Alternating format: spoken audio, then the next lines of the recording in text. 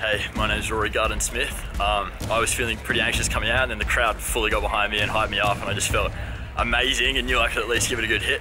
Uh, I just wanted to get past that, that second obstacle. That thing is an absolute killer. And I uh, went in with a plan, and it came out all right, but then the Bridge of Blades, I hadn't thought that far ahead, and I paid the price for it.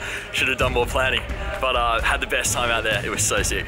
Before that, the day stay was awesome. Everyone backstage is so friendly. Everyone's helping each other out with tactics and stuff. Um, it's it's such a great thing being a part of this and just having the best day all around. So that's it from me. Thank you so much for the experience. Uh, hopefully, third obstacle tonight is enough to get through to the semis. We'll see. I'm going to go out there and watch. Have a good one.